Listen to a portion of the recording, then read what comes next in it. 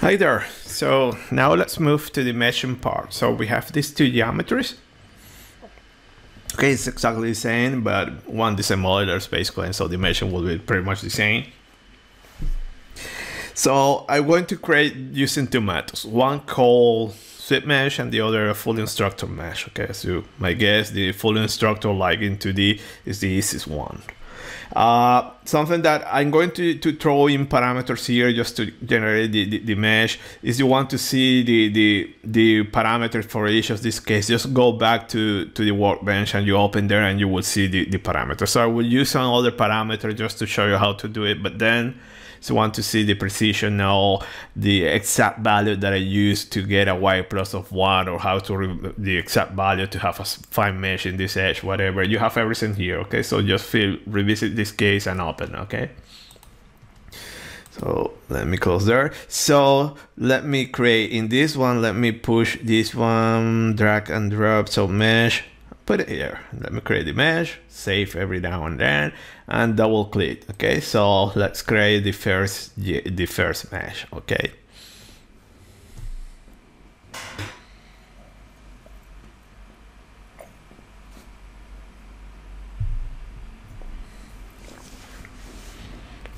Okay, so it's opening uh, this, the meshing tool. It will import the mesh and we have it there okay so remember one solid. So as you go back to to to, to the geometry you will see that we have only one solid. So as you click here remember choose your predefined values cfd fluent see the triangle is telling you the maximum dimension so probably we can put here 0 0 5 you have it there and you can just press generate and you can get an initial mesh okay? So it will be not a very nice one okay? But we have one initial mesh and now we can adjust the parameters okay? So as you see this mesh see that there is something that I want this is a sweepable mesh.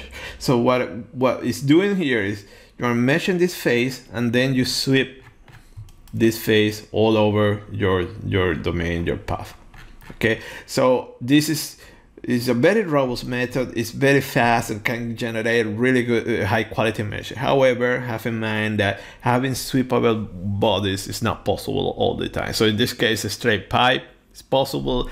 Probably you add an elbow or a bend also is possible, but then very complicated geometries is not is not is not possible. Or if it is possible, it will require too many operations. Okay, so these are things that you, you need to wait at the at the time of choosing a method. But let's do it here in, insert here method select the body okay we're in 3d and now here you can select your methods okay? So in our case is this sweep and see that it's asking you here algorithm program the program will control everything okay? So easy geometries it will do it like in this one but you can go okay sorry uh, you can go here. Source target selection okay?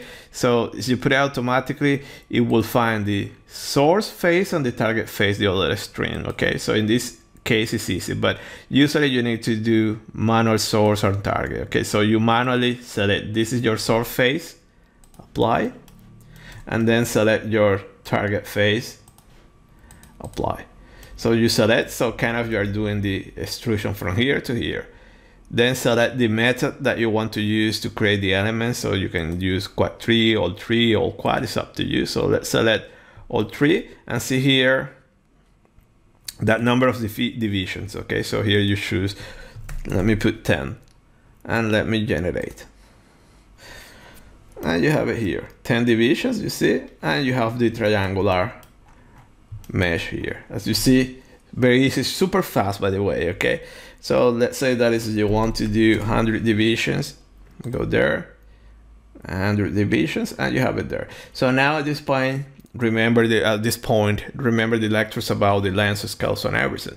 So uh, we mentioned that this direction is also important. So if you have, you can compute your length scales, integral length scale. You will see that cells like this, it, it, it, it is too large. So you are going, not going to resolve well pure stressor. So you're going to get small errors there. You recall the case presentation that it was a small shift between the theoretical uh, y plus u plus curve and the and the numerical one. It's just due to this that in 3D scenes are more expensive. So if you want to to have a very good resolution, you you're going to put you need to put like 2,000 cells. But then when you look at the cell count, uh, those are a lot of cells that you're putting there. So see that there, something like this will give you a good resolution, but your statistic start. It's still something that you can afford, but then remember that we need to have finer cells here. Okay, so you recall the 2D mesh, it was super fine even in the core. So here we need to add refinement. So since become very expensive. So let's control this one. Let me put for the time being 200 there. Uh, okay and see that you have this type of mesh here. If you want to have quads just change it here. Okay it's up to you. Okay. Uh, okay. So in my case i prefer to have three. Like three better. And now what we need to add to do is to add refinement. So you go here insert sizing in this face and now choose the element size. Will be zero one let's say you have it there it's still a little bit large. Let's put 0.5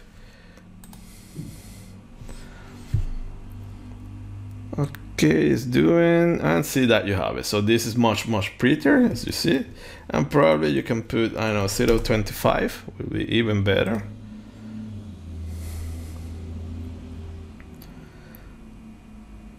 Okay so see that it start to become a little bit slower because needs to generate more cells and so more expensive. And you have it there. So this is a very nice mesh. And if you want you can give it a try let's see how, how it looks like with with all quads. And also you can add the face that this option now the face mesh in here. And but here you need it okay? But it's one you can play around. So let's see how it looks like with quads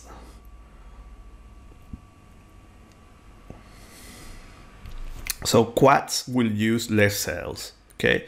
But honestly, I think triangles resolve better. So see that you have this strange pat pattern there. That, so you can here in reality for those who knows what what are structure meshes now.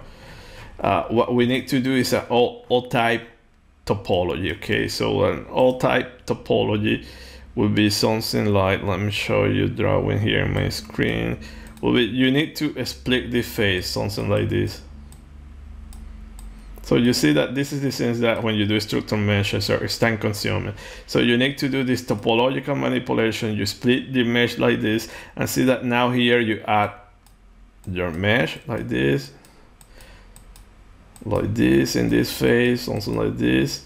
Okay, here like this, here like this, okay. And then here it will be these lines, okay.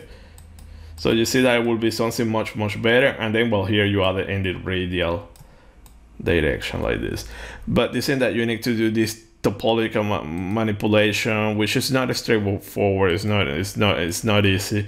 Okay, but you do that using the face, the the face nation. Okay, but honestly, I don't recommend you to go for that approach. So stick here. In my case, I will stick with the old triangle. Okay, so as you see at this point, we are done. Okay, we have pretty much uh, a good mesh. Okay However, we're missing one feature, very important feature. So let's wait until having this. Voila, very nice. So see, this is this is relatively nice. So the feature that we're missing here is the boundary layer meshing. Okay, so to add the boundary layer meshing in this case, what we need to do. So remember that as we are using this action sweep, we're sweeping the face. So we need to apply those actions in the face. So we need to select the face the scope will be the face and then the edge will be the one that we're going to use to grow the, the boundary layer. So to do that, go here, insert, and you have here inflation. Select the face. Okay, no, it's face, no, it's the body, say scoping the body here, and now the edge. Okay, now it's the opposite now. It's scoping the face and now you select the edge. And you have it there. So just to make things faster let me reduce this one to 0.01 okay? Just to get it working fast. Okay face size is this one Uh, okay, I chose the wrong one, 0 0.01 here. Okay, and see that you have your face grow. So here it's up to you to choose the method. So for instance, you know your target Y plus is one, and you're talking about a Reynolds of 100,000. Okay, we already did the previous one. Will be something about about six now, about something like this, that it will give you that value. So if you do is you do this, see that it's super fine towards the, the wall. Okay, so okay, uh, let me let me use that. Okay, it's super fine towards the wall, so probably it's better to increase this. Okay, so at this point, as you see, you have absolute control. Okay, so we know our integral scales, how, how, how to compute that, and from that, you can get an estimate and the cell size and everything. Okay, so this is much better. This is much nicer. See that you have this. And um, for instance, let me add another sizing. And I want to add an edge sizing here. So in this edge, apply, I want to have cells about 0 0.05. And see that you have there the reference. So I want to in actually 0 0.2 generate. So just in this edge, it will put 0 0.002, and then will grow, and then here it will grow to this size that you put here in the face sizing. So it is a little bit slower, it's putting much more cells in your domain. And this is what we have, a much nicer mesh, okay? So, however, here you see that this transition is not very nice. So what you can do now probably can reduce this one, but also we can increase decrease this one to 0.5 to have a better transition. And this is how you do meshes, okay? But what is important is always to have this initial reference about the, the, initial estimate of length scale. So the Y plus we have seen is, as I mentioned at the beginning, extremely important quantity. So always compute it. And from that, you're going to have an idea of the resolution the mesh re resolution as the wall. Remember that you need to resolve curvature, okay? So this is why I put in this value to resolve wall the curvature. And then maybe you can get from the integral length scale, those initial estimate, an idea of the, of the, of the vortices, whatever you, you're going to have this. So you need to put enough cells here also to resolve the velocity profile. So if you put here 10 cells, across the pipe probably is not enough because you are going to resolve that. So here there are like 20, okay? So it's a little bit experience, but see that knowing this theory, it can help you a lot to get those estimates very fast and get a, a relatively good mesh fast. Okay, so at this point, I can say that this is a good mesh. Can, we can take it for granted. However, it remains open this issue that here probably this distance is too large so maybe you are not going to resolve well shear stresses you are going to have some some error so here again you you will need to increase that one. So you go for instance let's say 1000 that will be a good value for this pipe. And it will be slow slower than the previous one. Okay so let's wait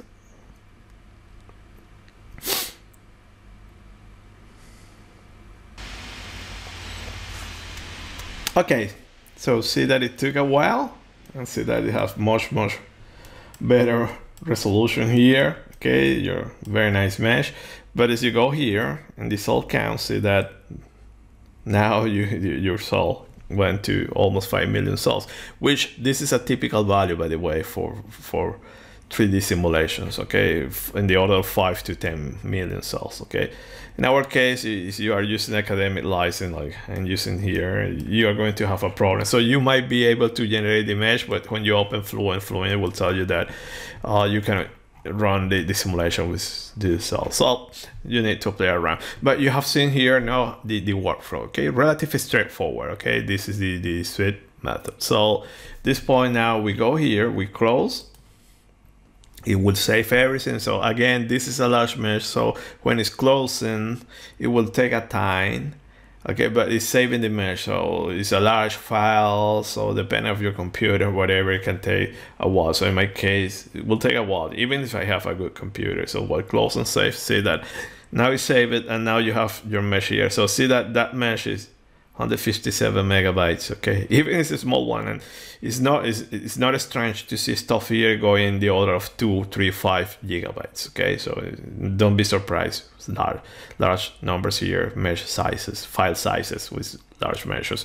Okay so this is what what we have. And then to move to fluent remember that then you go like this okay and then lighting update and it will convert this into fluent format. So i will do the conversion okay? So we're done with this video tutorial okay? The next one we're going to do pretty much the same okay? But in the second geometry which is the same as this one.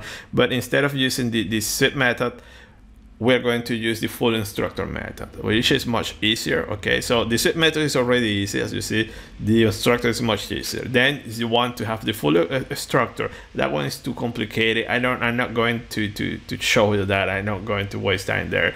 The measures are, are beautiful and nice, but it is too complicated so i don't want to waste time there showing that. So stick with these two methods the sweep or the full in instructor. Remember that in the sweep method not every geometry is sweepable okay? So you need to know your geometry okay? And you need to know what regions can be you can sweep okay? So that's the only restriction that you're going to have there. So at this point uh it's the conversion it's almost done the conversion to fluent format so see that now you have the new mesh here, cis and sh, this size. Okay, so see that now it's larger this size in fluent format. Okay, we're done. So this is the mesh. Remember that as you click here, properties, you will see flu. So this one here, where you have located. So if you go into case directory, you will see that these files are located there so let me go there to show you. So i'm saving everything here dp0 and see that you have cis now it should be uh okay I, I need to launch fluent so you're going to see here flu flu dash one. Okay in those directories where you you, you are going to have the the geometry okay? So that's all for this video. The next one we're going to move with the full unstructured mesh so see you next time. Bye